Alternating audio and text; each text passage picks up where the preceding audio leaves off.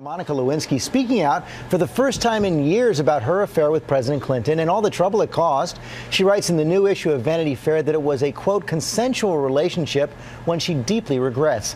ABC's Jonathan Karl has more on the fallout from Washington. Good morning, John.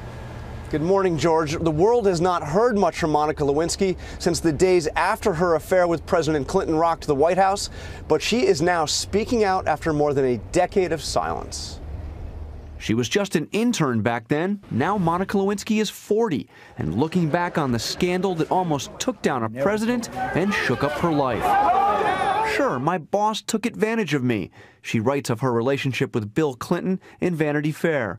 But I will always remain firm on this point. It was a consensual relationship. Any abuse came in the aftermath, when I was made a scapegoat in order to protect his powerful position. She reacts to recently released Clinton White House papers that quote Hillary Clinton calling her a narcissistic Looney Tune.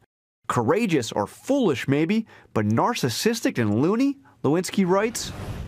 I find her impulse to blame the woman, not only me, but herself, troubling.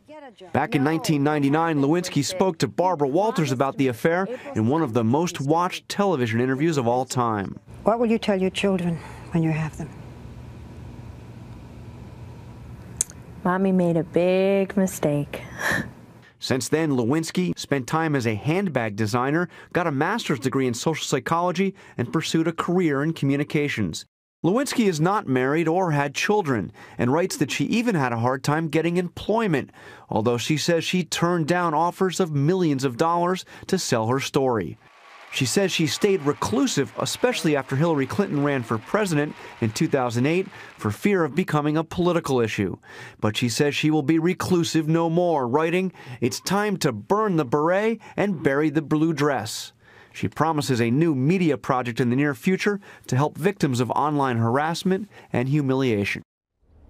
The Clintons have had no comment on Mrs. Lewinsky's article, but the timing is notable. It comes just as Hillary Clinton is about to launch a media blitz of her own. She has her book coming out in June, followed by a series of national interviews and a national book tour that'll look, George, a lot like the beginning of a presidential campaign. That's what a lot of people will think. Okay, John, thanks.